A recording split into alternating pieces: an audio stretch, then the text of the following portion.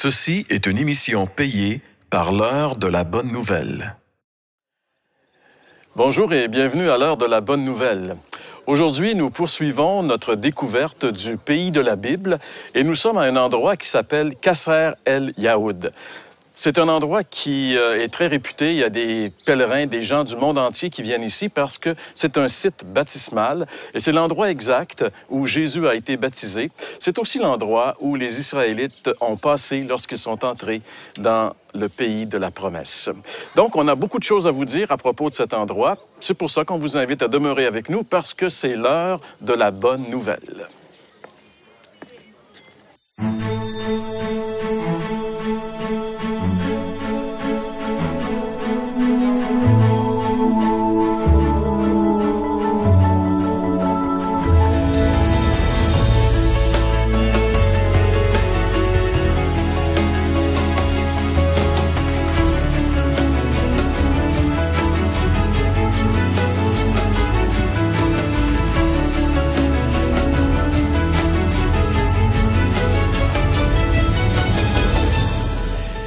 Nous sommes maintenant rendus sur la frontière est du pays d'Israël, une frontière qui est une frontière quand même euh, pacifique avec euh, un pays qui est en paix avec Israël, c'est-à-dire juste de l'autre côté, à quelques dizaines de mètres d'ici, c'est la Jordanie. D'ailleurs, on peut même voir d'ici le drapeau de la Jordanie.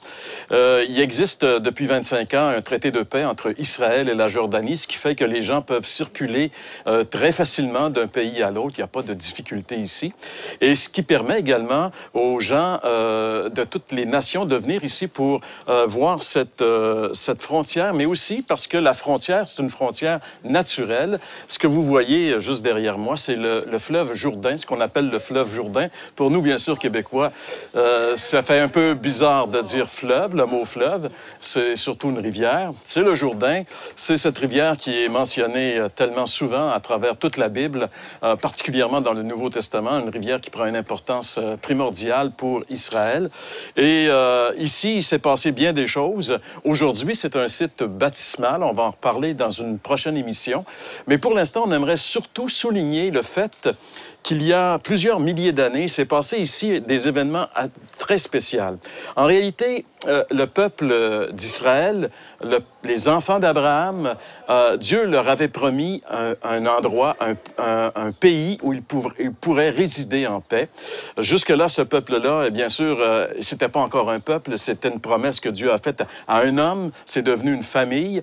Et cette famille, euh, quatre siècles plus tôt, avait dû fuir le pays ici pour... euh, il y avait une famine et ils sont allés s'installer en Égypte. Et ce qui est arrivé, c'est que le temps a passé. Euh, ils sont demeurés en Égypte pendant quatre siècles. Ceux qui ont- connaissent un petit peu l'histoire euh, d'Israël en Égypte, ça a commencé avec le fait euh, qu'un des fils de Jacob, qui s'appelait Joseph, est devenu, est devenu le, presque le pharaon, le bras droit du pharaon d'Égypte à l'époque. Et, à un moment donné, durant cette famine, il a fait venir sa famille euh, dans ce pays. Les années ont passé et puis au début, évidemment, euh, l'autorité euh, égyptienne était très favorable aux Israélites parce que Joseph avait vraiment sauvé de la faillite ce pays d'Égypte. Mais avec les, années, les siècles, la situation s'est un peu retournée contre les Israélites qui étaient en Égypte. Ils sont devenus des esclaves, une main-d'œuvre euh, euh, une main-d'œuvre bon marché que les Égyptiens utilisaient. Et évidemment, euh, ces Israélites ne pouvaient plus supporter cette situation. Ils étaient écrasés par la servitude, comme dit la Bible, et ils ont crié à Dieu. Ce qui est intéressant, c'est que lorsqu'on crie à Dieu, Dieu entend. Dieu, euh, la Bible dit que Dieu est près de ceux qui souffrent. Dieu est près de ceux qui ont le cœur brisé, de ceux qui, vivent des situations difficiles et qui se tournent vers lui. Dieu n'est pas un Dieu qui est sourd. Et euh, il a entendu le cri euh, des enfants d'Israël. Et puis, il a suscité un libérateur. Il a suscité quelqu'un pour délivrer, sortir son peuple de l'esclavage de l'Égypte. Et euh, probablement que vous avez tous entendu parler, bien sûr, de ce personnage important qui s'appelle Moïse. C'est cet homme que Dieu a utilisé pour délivrer son peuple.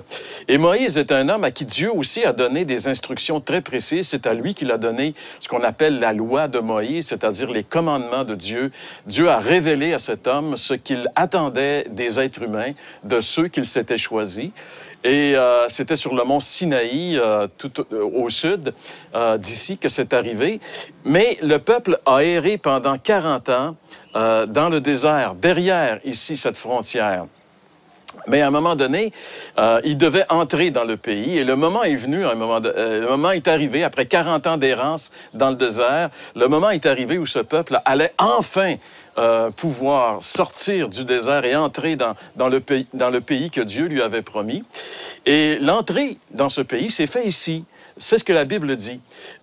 ils ont dû, quand ils sont sortis d'Égypte, Moïse a dû fendre la mer Rouge afin que le peuple puisse passer.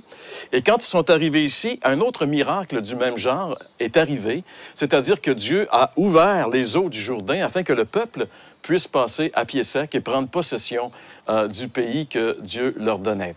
Et ce qui est intéressant de noter également, c'est que le grand libérateur euh, du peuple d'Israël, Moïse, euh, malheureusement, il n'a jamais mis les pieds dans la terre promise. Juste derrière, pas très loin ici, il y a une montagne qui s'appelle le mont Nebo. Et euh, c'est là que Moïse, euh, Dieu l'a fait monter sur la montagne et il est mort sur cette montagne. Il a pu contempler du haut de la montagne le pays, mais il n'est jamais, jamais entré dans le pays parce que Dieu lui avait dit qu'il n'entrerait pas dans le pays. C'est une longue histoire dont on pourra peut-être éventuellement parler dans une prochaine émission. Mais pour l'instant, ce qui est intéressant, c'est que le peuple, enfin, est libéré d'Égypte, il est libéré de l'errance du désert et il va prendre possession de ce pays où coule le lait et le miel, pays que Dieu lui a donné lui a promis. Et c'est ici que ça s'est passé, c'est ici que les eaux sont ouvertes et que le peuple est entré. Et juste derrière, juste euh, quand je pointe vers ici, euh, ben, vous pouvez voir euh, à l'écran présentement cette ville de Jéricho. C'était le premier obstacle que les Israélites devaient affronter parce que, bien sûr, le pays était à eux, mais ils devaient le conquérir. Et il s'est passé des histoires vraiment extraordinaires. Et vous savez, le peuple de Dieu était béni par Dieu et quand quelqu'un est béni par Dieu, euh, ça influence aussi les gens autour de lui. Les gens qui vivaient ici à Jéricho savaient très bien que ce peuple qui s'en venait du désert, on parle de quelques millions de personnes, tout au moins. Là. C'est pas, pas juste une petite gang. C'est vraiment une nation. C'est un déplacement de population euh, comme il y en a rarement eu dans l'histoire de l'humanité qui arrive. C'est un phénomène. Et les gens sont, sont vraiment nerveux à l'approche de ce peuple-là. Et euh, il va se produire des choses euh, dont on va, François va nous parler dans un instant en nous démontrant que lorsqu'on fait vraiment confiance à Dieu, lorsqu'on se tourne vers lui par la foi, on peut vraiment éviter des problèmes terribles. Je vous laisse euh, entre les mains de François dans quelques instants au retour. Vous avez des questions ou des commentaires sur ce que vous venez d'entendre? Contactez-nous par téléphone ou réagissez sur les médias sociaux.